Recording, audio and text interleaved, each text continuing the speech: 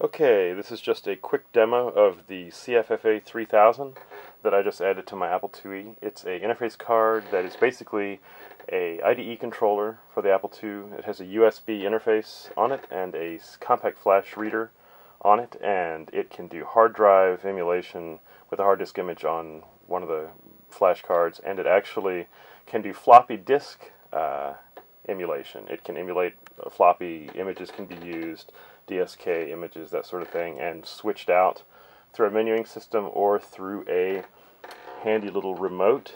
Uh, there is a two-button remote that hangs off of the the um, off the card with a ribbon cable, and I have chosen to enclose it in uh, pixel blocks. I've used pixel blocks for a couple of uh, little circuit board projects. But at any rate, let's take a look. So basically, you boot up your Apple. Um, this is kind of a crude video. I'm just going to hold the camera here while I do it. Uh, so we boot, and then we press M. Press M soon after booting, and you get this menu. Uh, basically, you can set up a few different options. I'm using it only for the SD card, uh, or rather for the, the disk image emulation so that I don't have to use floppies. I've got uh, a couple of disk 2 drives. I actually also have a duo disk here as a monitor stand. These are not actually hooked up. But um, anyway, the floppies are, are getting a little bit old and hard to deal with, hard to source. So uh, I just wanted to use disk images uh, instead of floppies. Let me click disk to assignments and it will show you uh, disk images that are on the SD card. And you can run through, you can see there are some of the images. Um, let's pick Airheart because it's pretty so you click, uh, hit the 1 or 2 to indicate what drive you want it to go into. It comes over on the side here. And uh, now I hit escape, go to 9 to boot, and here we go. And uh, it's booting right up. Uh, you can see that the little the little remote unit um, has drive activity light. Uh, green is read, uh, red is write, I believe. I'm not positive, but I've seen red come on a few times. Stands to reason. But anyway, um, that shows you what's going on. You can also see the access on the card. And there is the screen. So you can see the game is loading. And there we go. Uh, Airheart. Such a lovely game. And um, back to loading. There we go. Okay. So let me reboot and I'll jump back to uh, hit M and jump to the menu. Okay, back to the menu. Let's try um, a, a two disc game, a game that requires uh, disc switching. So you hit uh, key one to move uh, the disc over into the into the virtual drive, move down, and then I hit disc one again. So now we've got two single uh, disk images in the drive one queue, and right now uh, disk one is active. So I'll go ahead and accept that. Um, I'll boot. Here we go. So now we boot up, and there's a nice crack screen. Uh, game loads, Conan, Datasoft. It's one of my favorite games, actually, uh, for the Apple II. Uh, probably my favorite Apple II game ever. I, I, played this in 84, I guess, the first time on my 2C. Anyway, uh, so here we go. got the logo. A little horse comes running.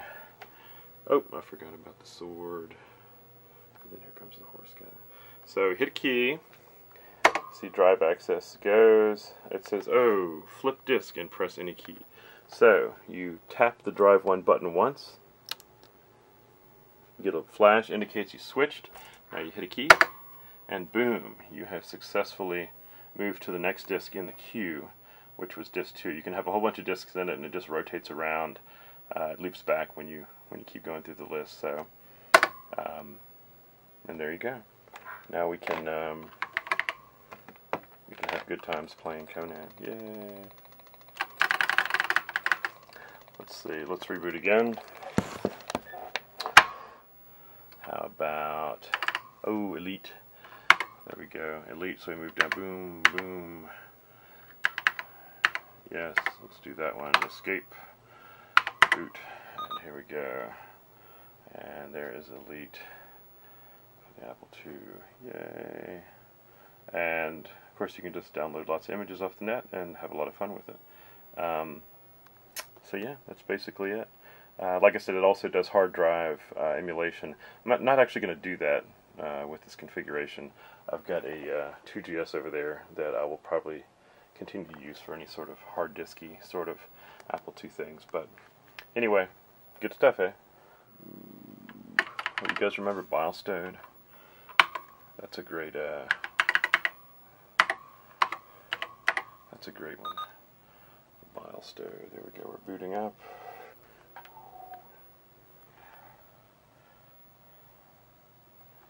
Bilestoad. This movie is awesome. It's not a movie. This game is awesome. Uh, remember the developer indicated once that he sold, I think he sold like a handful of um, just a, not a lot of these games. They were just all pirated. Here we go.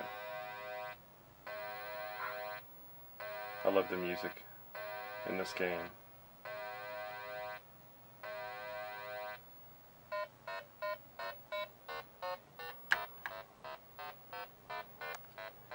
It was brilliant.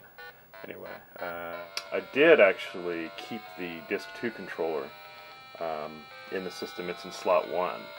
So if I uh, reset and uh, let's see if I go ahead and do a uh, PR number 1 uh, to boot off of uh, slot 1, you'll see it boosts right up. So that lets me actually, uh, I can move images, uh, disks into images if I have any anything that I, I can't find online, um, or anything that's you know data that I generated. Um, the system, when you go into its menu, has a feature that lets you uh, import disk images um, from a real disk and um, uh, make new blank disk images, that kind of thing. So anyway, uh, it's pretty cool. The CFFA 3000 was uh, a few recent runs of this board. Uh, you can see the first, I think the first first run was uh, 09. Uh, this year, they've I think a, a, few hundred units have been available. Um, people seem to jump on the list pretty quickly. So, um, you know, if you want one though, you can take a look at the website, uh, dreher.net, dreher.net, and um, and uh, grab one. And very handy is the optional, uh, the optional remote unit. Uh, so yeah, there it is. It's a great unit, and um, I'm happy to happy to have it.